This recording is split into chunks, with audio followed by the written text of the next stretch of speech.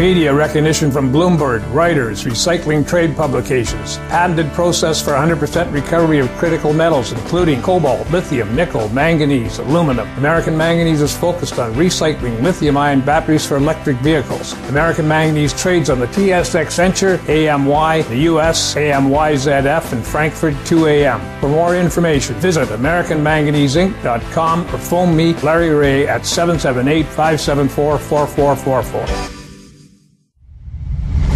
You're listening to HoweStreet.com radio, available online at TalkDigitalNetwork.com.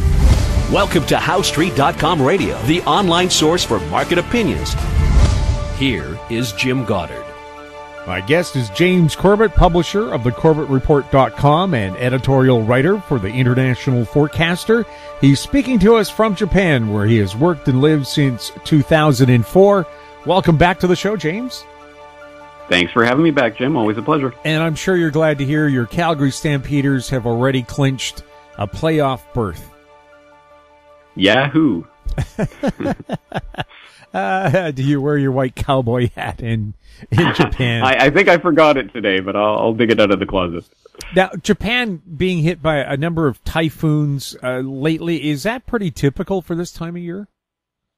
Uh, par for the course. Uh, the last few years have been a bit quiet, so uh, this one seems maybe a bit busier than usual, but I think this is probably not too far outside the realm of the normal. Could you describe Japan as perhaps the most disaster prepared country on the planet?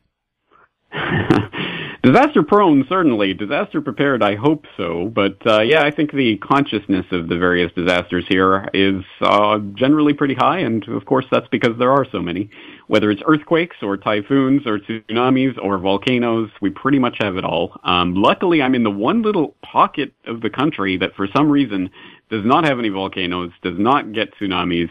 Typhoons don't really hit so hard, and earthquakes generally are a hundred miles away or more. So mm, pretty safe where I am, actually. And where is that?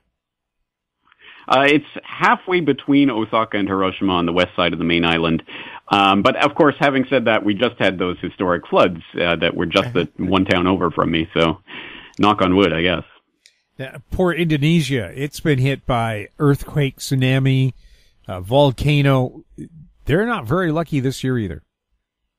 No, and I was just hearing about the latest evacuation of 70,000 people or something like that. Yeah, no, Indonesia's been battered quite a bit recently and, uh, you know, unfortunate situation, but these things do happen and they happen, they seem to happen a lot here in, in Asia for some reason.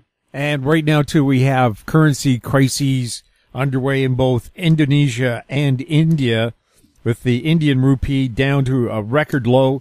And the experts are saying it's unlikely the central bank will be able to bail it out. What do you see there? Uh, well, I mean, some people have been talking about a repeat of the uh, the rupee crisis that we saw a few years ago, and perhaps for some of the same reasons, as we start to see rates, or as we continue at this point to see rates rising in the U.S., and we see a lot of the uh, liquidity that's been sloshed around uh, the world really starting to uh, to be sucked back in uh, as dollars come home to to roost. I suppose uh, we are seeing the attendant uh, drop in the rupee, and uh, and yes, it it looks like this one could be particularly hard hit. Um, of course, we've seen some of uh, the Modi government's ideas on economic and monetary policies in the past, like their disastrous idea to basically overnight make um, uh, something like 80% of the uh, currency in the economy invalid um, and requiring people to turn in their old notes for new notes. Um, so we'll see if they have any disaster ideas this time. But uh, unfortunately, those types of ideas tend to be more disastrous than than actually letting the pain play out, um, which might be what's required in this uh, chaos. Up until now, India has had one of the highest growth rates in the world, around eight percent a year. Is this expected to slow that right down? Uh, it's almost certain that it will affect uh, that growth rate. And I, I, think this is obviously reflective of the global situation generally. Uh, we are seeing a global slowdown in trade as we see the looming trade war coming. And obviously that's most uh, most evident in the U.S.-China uh, trade war, but of course it's having knock-on effects around the world, and I think India is going to be affected by that one way or another, and the currency crisis, at the very least, plays into that, even if it's not necessarily the cause of that slowdown. It will certainly exacerbate it. Uh, economist uh, report I saw said China could see the yuan lose another 10% if their trade war with the U.S. continues. Do you see that? Well, it it seems to be going that way uh, at the moment, and it's interesting. We have kind of a a tale of competing narratives. One being put out by J.P. Morgan right now, which just downgraded Chinese stocks and are warning that uh, a full blown trade war, quote unquote, could start by uh, next year um, between China and the U.S., and that's why they're doing this downgrade now. And uh, so we do see Chinese stocks uh, uh, sliding as a result of this. But contrast that with UBS, which is actually for uh, for reasons that are not entirely clear, but they are seeing that oh, actually this is a prime buying opportunity, and foreign investors are going to be basically buying up the slack. So uh, you actually had uh, Thomas uh, Dongming Fang, who's the head of uh, China equities at UBS uh, U- UBS Group AG, saying he would definitely be a buyer from here. And basically, the narrative here is that uh, global uh, international investors are making up a greater and greater share of Chinese stock purchases, especially um, A, A shares, and it, it seems that uh, there may be a ray of hope for investors here. Well, yes, it's going to definitely this is going to have some short-term pain, but if China comes through and on survives to the other side, there will be some big opportunities. So I think some people might see this as a buying opportunity. Perhaps that's just uh, wishful think on, thinking on UBS's part to try to go against the trend and perhaps uh, breathe some life into the uh, Chinese stock market. But at least short term, it seems there's no way that uh, China's yuan and stocks cannot avoid a, a hit from this. Do you think this uh, currency contagion can spread global globally? It absolutely can. And uh, again, we've seen destabilization in a lot of places uh, Argentina and Venezuela and India and Indonesia and now China potentially. Um, so it, it's uh, I, I, it's been called contagion. People are throwing that word around, and I'm not sure that these are necessarily linked.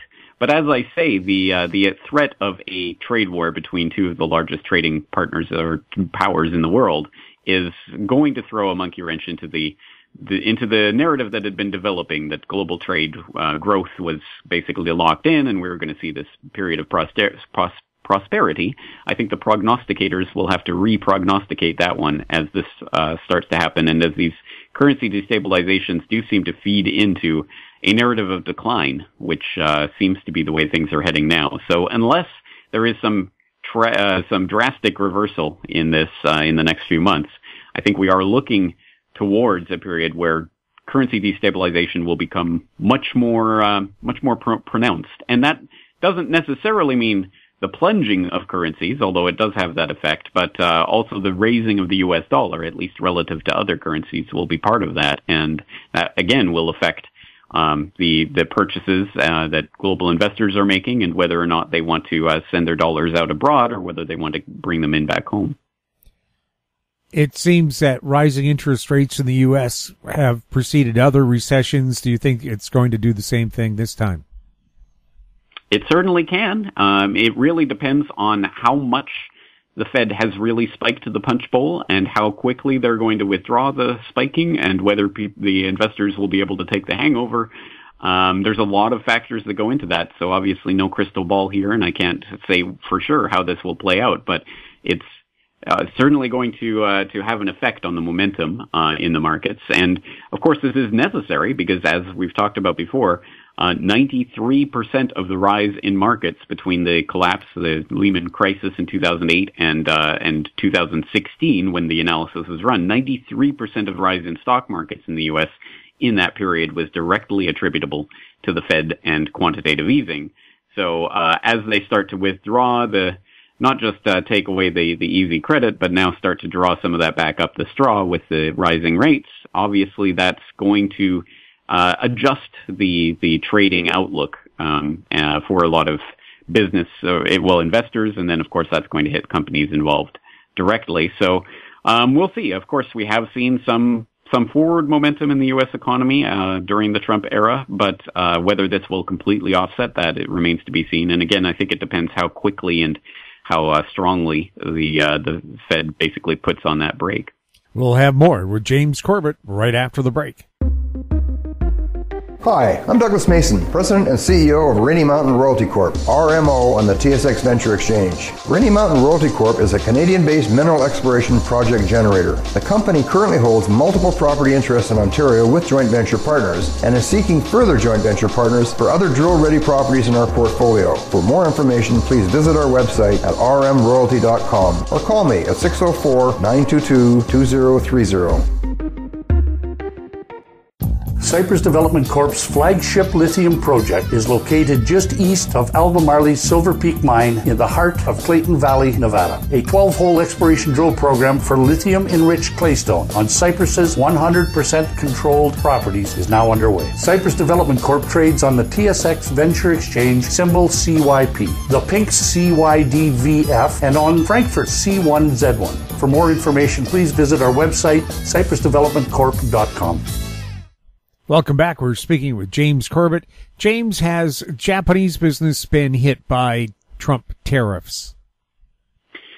Well, actually, um, speaking of Federal Reserve tightening and the overall economic situation, at least uh, the news I can report today is that the yen has actually hit a one-year low um, after this, uh, this uh, Treasury yields have jumped. And that is a good thing for the Japanese economy, which is heavily export dependent. So uh, a, a, low yen is generally good for business here in Japan, although it does create problems for imports of energy and other key resources. But uh, but generally speaking, the business outlook is good when uh, the yen is down. And we're also seeing a rise in 10-year uh, Japanese government bonds. Um, they went up 0.145% in the last 24 hours. So that's something. Um, but uh, generally, that is followed by the uh, the BOJ basically stepping in and, and buying up uh, bonds to try to keep yields down. Uh, now that the yen is weakening, they may have some room to not take that extra step. They may just let this uh, rise a little. So um, things are uh, not necessarily bleak in the short term here in Japan in the long term, I think the overall effects of a full-blown trade war, as J.P. Morgan is warning about, um, would uh, again would hit every corner of the globe, including, of course, uh, Japan. But uh, that that might be next year's worry. At least for the short term, it seems the Japanese economy has some signs for optimism. Is Japan uh, negotiating a new trade deal with the U.S.? I think they're constantly negotiating with the U.S. in this Trump era, and so we've seen uh, Abe and Trump have formed some sort of relationship, um, uh, and they have met several times, including most recently in New York during the uh, UN uh, General Assembly. But again, it's a lot of kind of paper promises or just uh, uh, promises that aren't even written down. Um, so we'll have to see how the relationship develops. But they're certainly in the process of negotiating and trying to get um, uh, well, the, the sticking point at this particular juncture is the threat that the U.S. has placed on J- Japanese auto automobiles, on on cars, car manufacturing of a 25% tariff. And so that's the threat that uh, Trump has been using for leverage in these negotiations. Um, but uh, it seems that uh, Abe may, may be able to get out from under that. Uh, again, negotiations are still underway. So, and and I think if there's anything that we've learned in, during the Trump era so far, it's that nothing is in the bank, and you can't really expect anything until it's uh, signed and done and, and uh, already a done deal. And even then, you might have to look over your shoulder. So, I don't think these t- t- these negotiations are going to end so long as Abe and Trump are in power. I think that it's going to be an ongoing and sort of continuing art of the deal, if you will. Is there any concern that now Canada and Mexico have a tentative agreement with the U.S.? Trump will turn his full ire on Asia, particularly China. It's a possibility, and I'm sure this is not uh, this does not escape the Japanese parliamentarians um, that this may actually be Trump freeing up one of his fronts in this trade war to focus more heavily on Asia. I, again, I think the, the greatest threat in that regard would be towards China, but Japan certainly seems to be one of the at least collateral victims of this, if not actually a direct victim, as we've seen um, with the steel tariffs and other things, um, again, directly affecting J- Japan. So, uh, yes, I mean, ultimately, the the less fronts there are in this trade war, the more Asia will feel the brunt of what's happening with the U.S. right now. And I think uh, I think uh, Japanese politicians and, and everyone else are, are acutely aware of that. We'll have more James Corbett right after this. I'm Greg Johnston, CEO of Carl Data Solutions, an industrial Internet of Things company that provides big data solutions for monitoring critical infrastructure. Carl Data offers machine learning and predictive analytics features through our cloud-based applications to deliver key asset-saving operational insights from massive amounts of data. Carl Data trades on the CSE symbol CRL and the pink symbol CDTAF. For more details on Carl Data, please visit carlsolutions.com. Don't miss out. Stay informed. Receive the HoweStreet.com weekly recap with thought provoking podcasts, radio, and articles delivered to your inbox. Sign up for the HoweStreet.com weekly recap on our homepage at HoweStreet.com. Welcome back. We're speaking with James Corbett. James, uh, a consortium of companies, Royal Shell, uh, PetroChina, and so on, have uh, now a tentative deal to build a $40 billion LNG plant in Kitimat.